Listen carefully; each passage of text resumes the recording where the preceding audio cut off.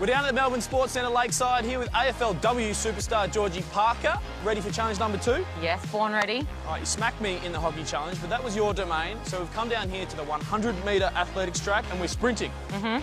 Have you run since you retired? No, I haven't. I'm feeling have- confident then, ready to go. I have thought about it though, and I'm flipping excited because there's a catch. We're running in these.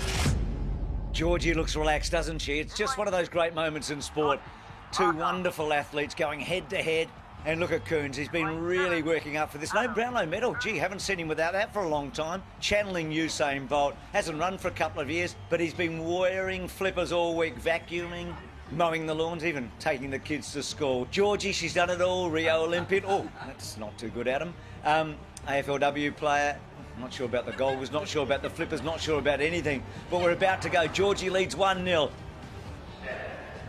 On the line here. Oh, Ready away. Georgie got a better start than Cooney. Leads early. Adam's going to have to lift. It's Parker in front. Georgie just leads. Adam goes up to it halfway. It's going to be close. Cooney just in front. He's getting ragged.